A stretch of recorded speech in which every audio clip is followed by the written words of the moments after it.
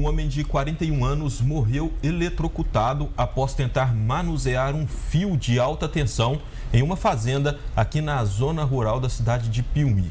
De acordo com informações do Corpo de Bombeiros, a vítima subiu na carroceria de uma colheitadeira de café com a intenção de levantar um fio de alta tensão utilizando um cabo de madeira.